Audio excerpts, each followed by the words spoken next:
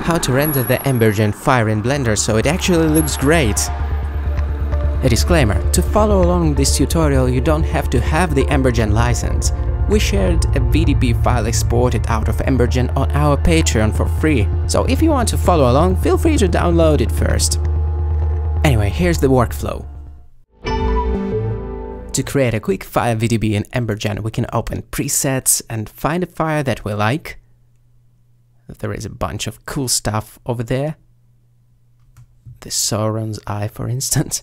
Well, I'm gonna go with this oil fire though. After opening this file, the simulation will run right away. To pause it, we can click this button, or to start the simulation once again. What can I say? It looks fantastic right away. Look at how much details the Embergen render captures. Actually, it is quite tricky to replicate this amount of detail in Blender because Embergen is tailored for this kind of stuff. Nevertheless, I will show you how in just a moment. We don't need to tweak anything here. Well, if you want uh, this simulation to be even more detailed than that, then feel free to use the upscaling.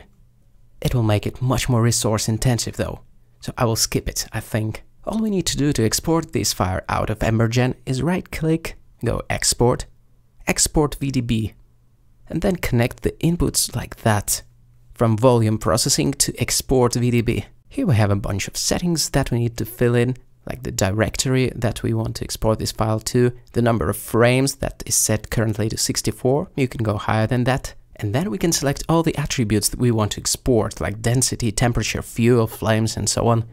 I will select pretty much everything except velocity, just in case.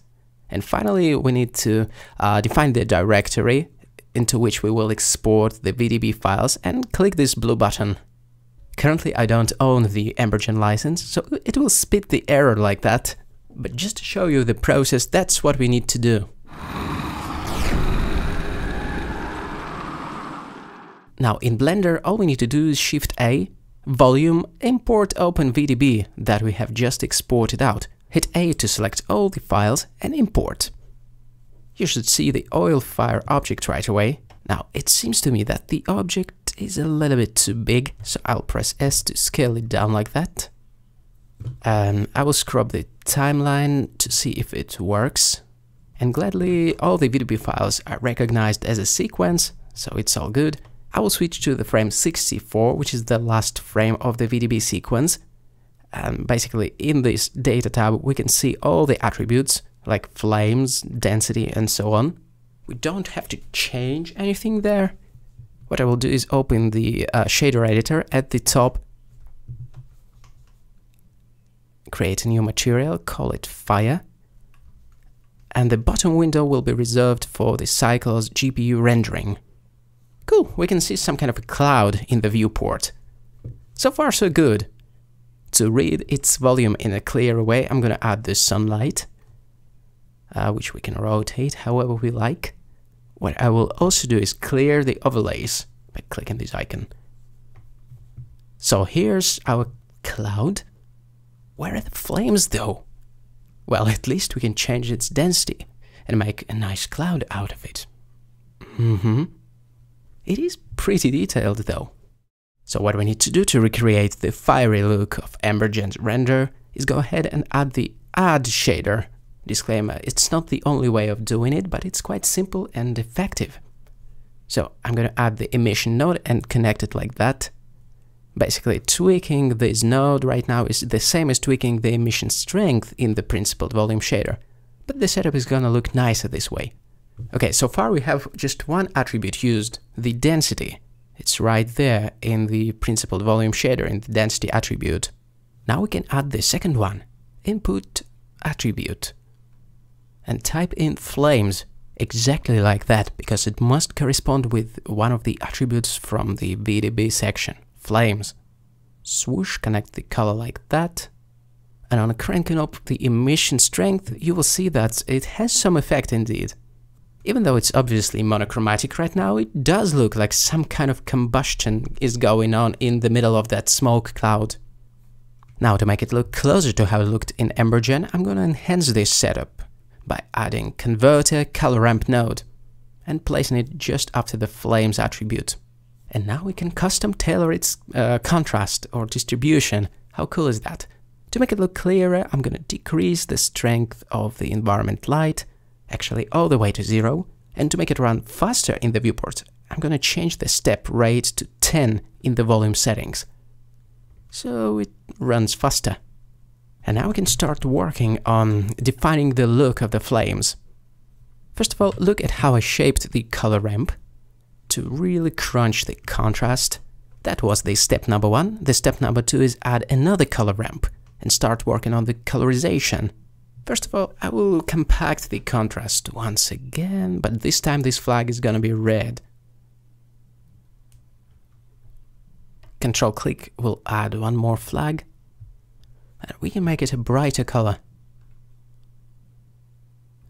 Some kind of yellowish orange.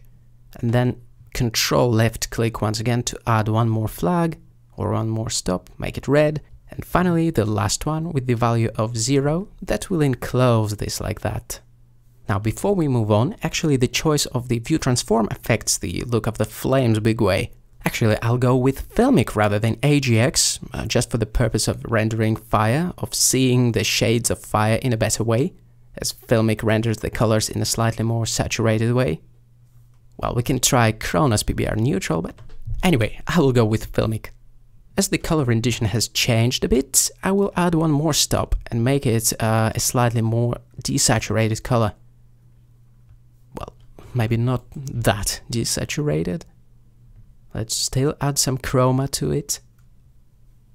Okay, what I'm trying to do by chopping up the color ramp like that is conjure as much uh, variation and as much definition as possible to make it look slightly closer to that super sharp quality of fire rendering in Embergen. Well, it looks pretty neat already, but let me show you something. If we disable this sun lamp and have a look at it, we'll notice that the fire doesn't really light up the smoke to help with that, I'm going to extend our setup again. I'll move it over like that, then select these four nodes, and press Shift D to duplicate it and move it down. Alright, now we just need to add the mix node, or, or rather mix shader. Connect two shaders to its respective inputs, and this one should go into the add shader like that. Currently these two sections are identical, but we'll change that, in a moment. For now, let's add the light path node. And its camera ray should be plugged into the mix factor of the mix shader. Alright, to make it slightly more compact, I'll press Ctrl H to collapse the un, uh, unused inputs basically. Alright, that bottom section will be used for rendering the fire for the camera, these four nodes, while this top section will use to illuminate the smoke and the surroundings. I'll press Ctrl X to collapse these two nodes and start from scratch. So this shader now controls the fire influence on the smoke and everything around it. By default it's monochromatic, uh, we need to add one more color ramp node to add some colorization to it. Alright, so I will assign the blood red color to the right swatch, like that, as if the fire is scattered inside the smoke and illuminates it from the inside. That kind of the effect. Then we can add one more uh, stop on this color ramp and make it brighter orange. Really, it's the look dev stage of the fire shader development, so feel free to tweak it however you like it, or use the Embergen reference. Alright, what I can do now is control the strength of this scattering effect by controlling the strength of the emission shader, of the first one I mean. And this is pretty cool because we uh, untied it from the uh, actual brightness of the flames, which we can also control by tweaking the strength of the second emission shader. Like you could have guessed, controlling it like that, separating the passes like that, is an extremely powerful thing.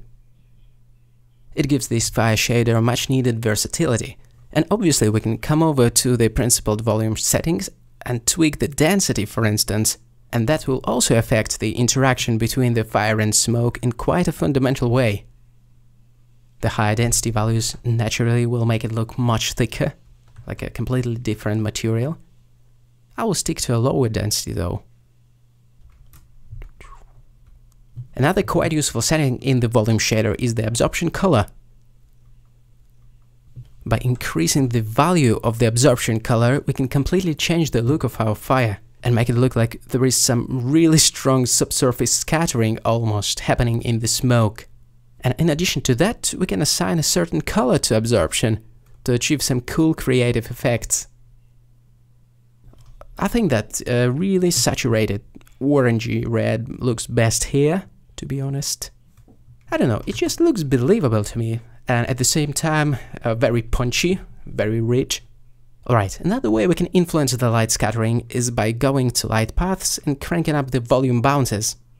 That could be another useful setting to tweak, uh, depending on the look you're trying to achieve. I'll stick to zero bounces though, I think it had a nice contrast. And that's pretty much it, that's the shader. Before calling it a day though, I usually tweak the density once more to see what would work best for the type of fire that I'm creating. It influences the look a big way indeed. And then obviously it also depends on the lights that you have in your scene. For instance, adding extra lights will shape the volume in a slightly different way and will change the levels of contrast along the way also. For some other cool changes to the look of our fire, we can refer to the Blender's compositor. Click Use Nodes, uh, then uh, we can enable the real-time compositor in the viewport like that. Then adding some glare is a no-brainer as we are dealing with a super bright stuff here, super hot. So throwing in even a tiny bit of bloom or glare will have a huge effect. Bloom specifically. It can add a lot to the final visual impact of your Embergen fire rendered in Blender, so here we go I guess. That's it, that's how I render the Embergen fire in Blender. Feel free to check Embergen, it is amazing, but if you want to just play with the VDB file to try this setup out, you can download it from our Patreon page alongside the fire shader. Anyway, my name is Gleb Alexandrov, see you next time, feel free to subscribe to our channel.